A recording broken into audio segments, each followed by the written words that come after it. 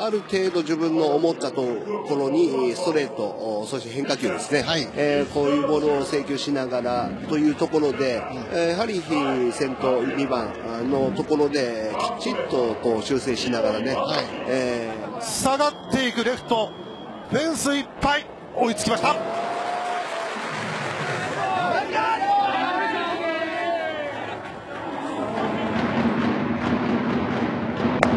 初球ストレート空振りです。あこれ柘植がそのボールを返しましたねベンチに。記念の初球のボールです、ねはい、初球。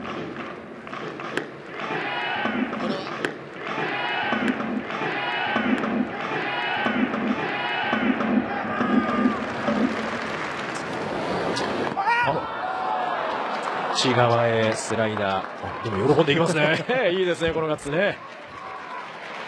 まあ、当たってしまいましたが、まあ、ベンチに向かって出塁できました！って感じのね。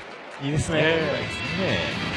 ー、ね。一旦まあその辺りをケアしてベンチからもね出てきましたんで時間を取ってますマリンズサイドは。